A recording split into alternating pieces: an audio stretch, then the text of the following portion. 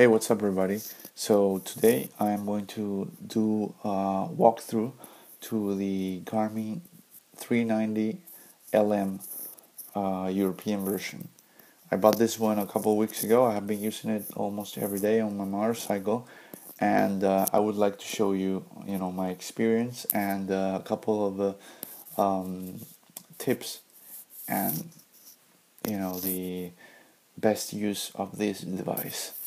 So um, this one has the latest firmware update, which I downloaded about a week ago. It's the 6.17.07, and the software version is the 3.90. You can download it for free from the Garmin website or using your Garmin Express uh, app all the communication with the computer is, is done through the mini USB cable which I have here. Uh, you know, firmware update, um, map transfer, and uh, all the communication with the device. So this is the main window. This is uh, the window where, where you can choose your, your destination and view the current map. So I'm going to show you my current map so this is where I live. I have chosen this motorcycle icon. It's customizable. You can actually choose the device uh, or your vehicle from uh, all, all, sorts of um, icons like a small car the arrow uh, footsteps uh, bird scooter I want to choose now the the the arrow. And the driver map view so you can choose either 3D true north up. It's a this is a little bit confusing for driving and riding and track up. Of course the 3D is uh, the ones that, that's more intuitive and it's easier to follow. Okay. So the I have I have been searching how much uh, storage the Garmin Zumo has. I couldn't, I wasn't able to find it. So basically, what you're gonna need is a uh, micro SD card in order to uh, upload your maps. With the upgrade, I had to use a micro SD card because the internal GPS storage wasn't able to load the maps. So at the moment, I have uh, I think it's an 8 gigabyte micro SD card and it's uh, all the maps and everything took about uh, 3 to 4 gigabytes. So that's one of the things that you have to be aware. If you're gonna get your Garmin GPS be sure that you get um, a lot of internal storage. Uh, one of the things that um, one of the things that I discovered this weekend was that I have also my um, Rollei camera which uses an F micro SD card to to store video. And uh, I took out this uh, the SD card from here which is in the lower part. I'm to show you. It's down here.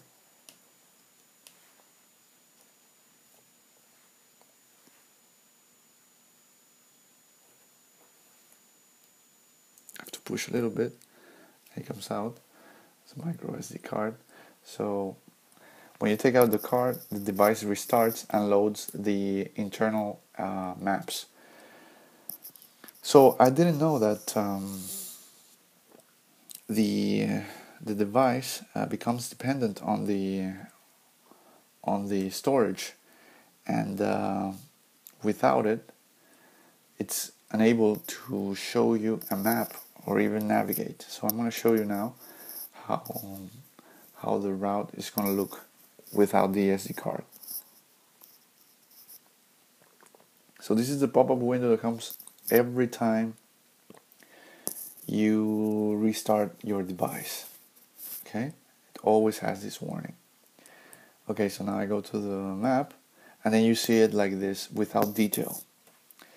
So if you don't use, if you forget or you take out the SD card of it, or data becomes corrupted or somehow someone steals this card or you don't have a card inside you're not going to be able to see anything Okay, so this is one of the disadvantages of the that I found that uh, you have to keep the SD card in there and make sure the data is working because otherwise you're just gonna have a lot of you know just like very basic train tracks and and some lines not real not really uh, not real maps to navigate so this is something I discovered this weekend so you gotta be careful with that um, make sure that uh, you have all the maps loaded and uh, and that you're able to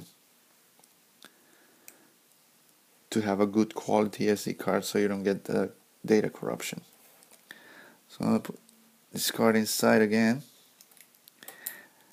I don't like SD cards sometimes, it's so small, sometimes so difficult to get them in.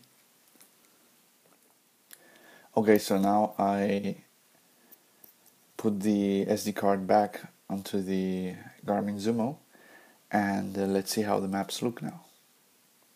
So as you can see, now after the SD card is in there and it has all the map data, you can see more detail. Without the SD card, your Garmin Zumo is completely useless. So make sure you have the SD card in there all the time. Okay, so let's go to the back to the GPS. All right, so this GPS is um, motorcycle specific GPS, but you can also use it with your car. Currently, I'm using a suction cup on my iPad because that's the only way I could have it um, uh, have a, a, steady stand for my GPS because this is glass, so the suction cap attaches very well to the glass. So with, this suction cup, you can use it on, on your car, but it comes with the the specific attachments for your motorcycle. I already have a video uh, on that. You can check it down here. Alright, so let's click here. Now it's in motorcycle mode, and here you can change into automobile or off-road. You can either use car mode or motorcycle or off-road. With off-road is is really cool because you can upload some trails that you can find in Wikiloc and it won't use the normal road or street algorithm and uh, will find its way using off-road uh, tracks. But for the moment I'll leave it here on the motorcycle so we can do a walkthrough on, on the GPS operation. Okay, so with the normal navigation it works just like a normal GPS. Uh, it's a very uh, comprehensive and intuitive uh, design, uh, you can actually add all sorts of shortcuts here um, that where you can where you can actually have all this kind of stuff here so I can add for example lodging to my track and then when I'm traveling I want to be able to find quickly you know bed and breakfast and all this stuff with the distance and everything. Okay so let's click here. Let's see the the route and it shows all the um, navigation and ad address data. Okay so click go and it works just like a normal GPS you know?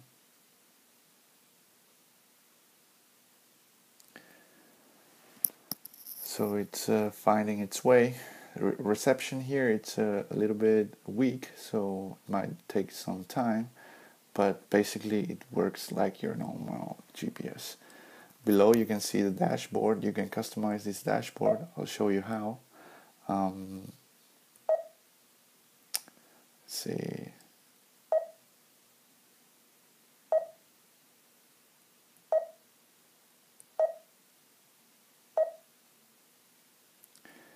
I'm just doing a walkthrough here, but I don't remember how to go there.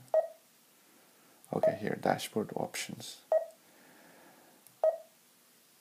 So here you can actually change, you know, switch the preferred dashboard with the orientation speed, or you can choose the elevation, um, you know, all this stuff.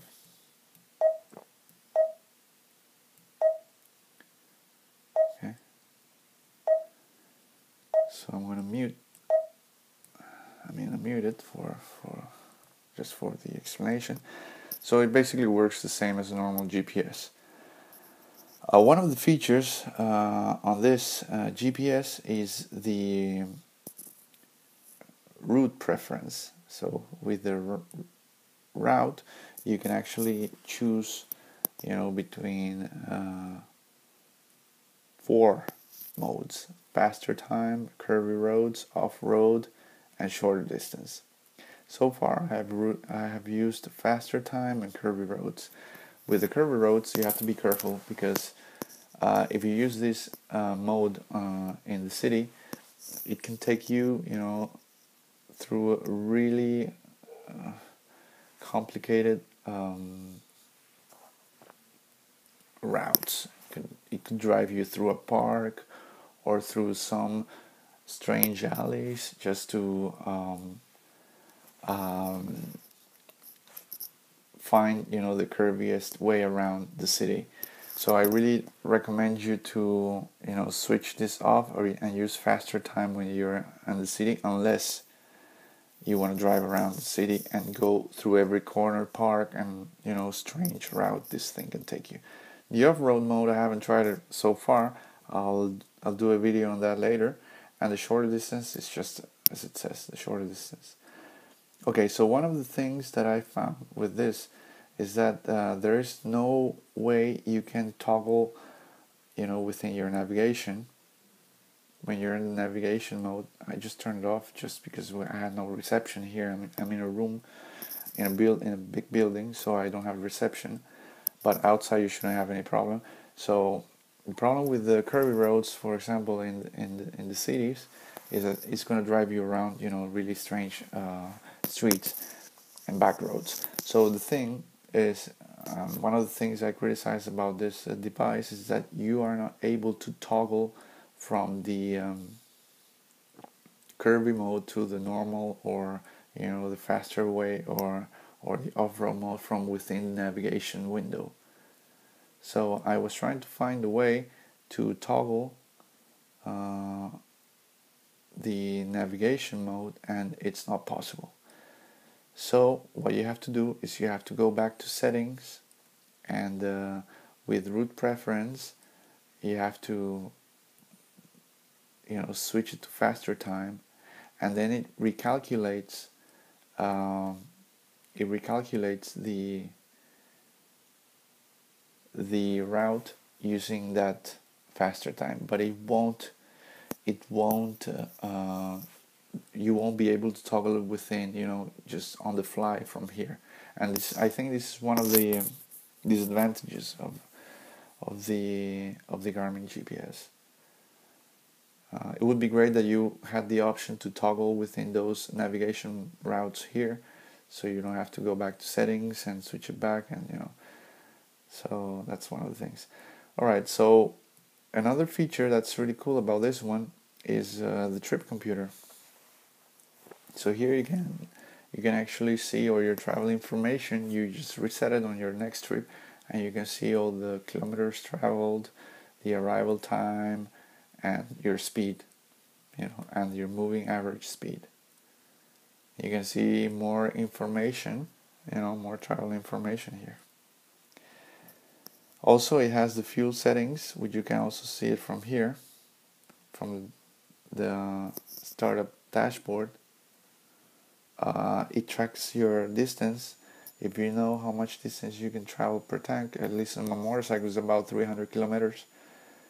So I set up this here. So when I have the the full tank I just uh, reset the fuel tank here. And uh, the Garmin Zumo will calculate based on the kilometers traveled how, how much fuel I have left. And I can be able to see that information here you know so on the trip computer Okay, one of the other features it has is the VIRB remote. If you have the camera, the uh, VIRB camera, uh, you can also control the camera from here and you will be able to see, you know, uh, the camera from here. From this screen and you will be able to start it to what to actually uh, review what you're seeing or, or check what you're seeing on your camera take take pictures and uh, hit on the rec button. That's very useful because when you have your your camera attached to your helmet you are unable to know if it's uh, actually recording or you're unable to see you know the field of view. So with this feature you're able to to do that. At the moment I am not, uh, I'm not using this feature because I don't have this camera but um, I am using a different camera but I'm thinking about about getting it in the future. Okay so now let's go to the cool stuff which is the apps that come with your GPS okay so here are the the stuff that you're going to use the most with your GPS and one of the, the ones that I'm using the most is the trip planner. With the trip planner you can actually create new trips. So you select your start location, for example home, then I select that and then you start adding locations that you can choose either from your searches, from your saved places, your favorite places, coordinates or just browsing the map. And from here you can just add waypoints and you can create your own trip. You can also download trips from a, a ton of places. One of my favorite places is Wikilocs. I can find a lot of trail and off-road uh, tracks that are pretty cool. Those ones I can find them here and what I actually do is I find them on the website and then I download them to the to the Zumo with a USB cable. So I'm just going to do an overview of one of the tracks I found. So this is one of the tracks I found that goes all the way from Barcelona to the mountains and all the trip is through off-road. So this is the green line, you can see it's going through all the way through the mountains. So I cannot use this track to navigate. I have to convert it to a trip. So what I do is I just go to the wrench, click here, convert trip. I use the start to finish. You know, track was actually had a start and a finish, and I'm actually using the same order. You can also invert it. Just finish to start. You can edit the name, and when you click done, it calculates the trip. Okay, so it takes some time to calculate all the waypoints and convert it into a an actual route that you can navigate. So this is going to take some time and we can I'll show you later how it looks.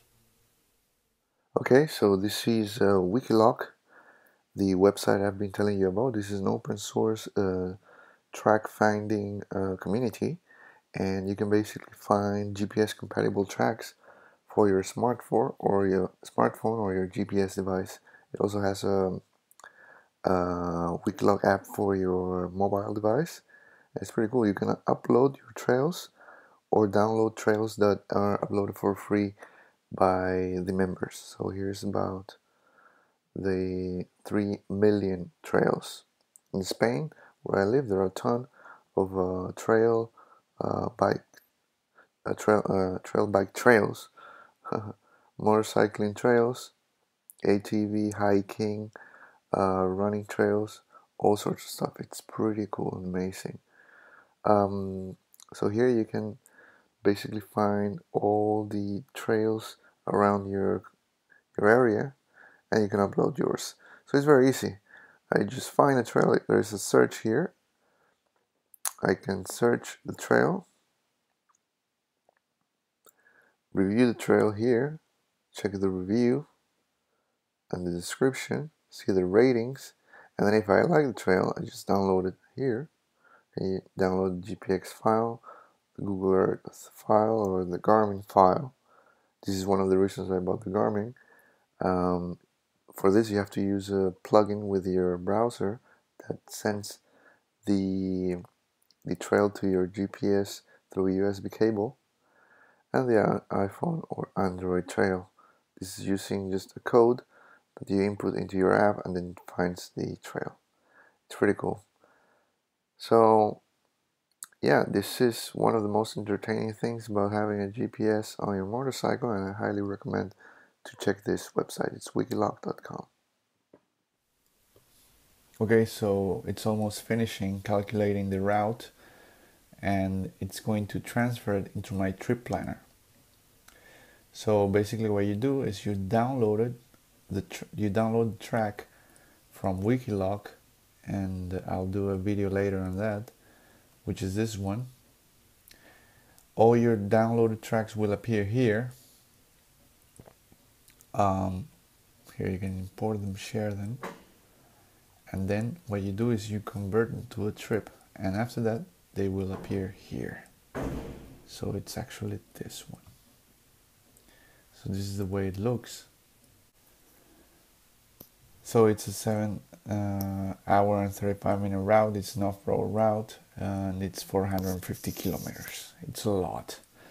So you can actually see it on the map. So you can review it. It's very similar as the one we imported you know? And then uh, you can zoom see all the details. And then you just click go here you can either use the beginning or the end to use it and then you can actually see the route here so I'm going to simulate this driving route because I don't have a signal at the moment so it's simulating as if I were driving showing me all the information here and the navigation. So I'm gonna stop it. This is one of the cool things because you can actually go to Wikiloc, find all time, all types of crazy routes. Probably where where you live, there's a lot of people that's uh, sharing uh, their latest trips, and you can actually do that. Also, the cool thing here is that uh, the Garmin Zumo can also save your trip, and you can download the trip from here into your into your computer using the Garmin Express or Basecamp and upload that as a, as a track for other people to, to travel. So that's, that's pretty cool. So with the track back, you can actually see, you can actually go back, you know, backwards into the place. For example, if I took a trip from here to Paris, track back can actually show me the way back home. That's pretty cool.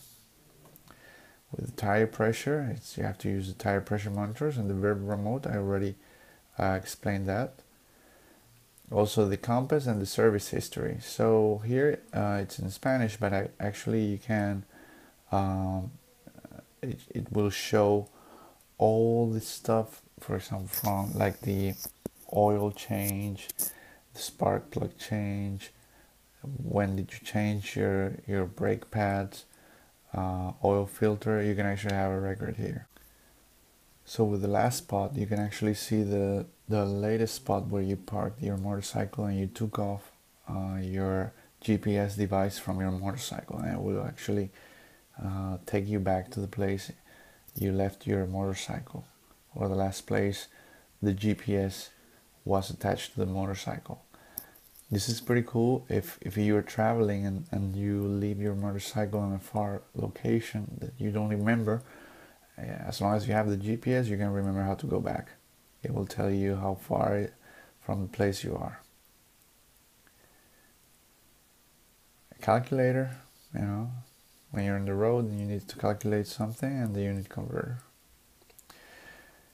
Also word clock alarm. you're on the road, alarm. And uh, the places where you've been. You know, your travel history. So these are the apps that come with your Garmin Zumo. It would be cool that uh, these devices already had some kind of compatibility with iOS or Android, like CarPlay or or Android Auto, but at the moment um, they have their own uh, OS that's a little bit, um, you know, difficult to connect with uh, with your phone. The other feature that I have with this one is the Bluetooth, which I can use uh, to to listen to the uh, directions when I'm riding, which is very useful. It avoids you to, to get distracted you know, looking at the map. but uh, it's something I use very often. Uh, the only thing with this one is that I cannot listen to music because it doesn't have the MP3 player function. I have to figure out a way to do that. Okay, so I think uh, this is um, quite um, uh, comprehensive overview of uh, the main features of this uh, device. Um, for if you have any questions or you have any comments, just drop me a line and uh, see you next time.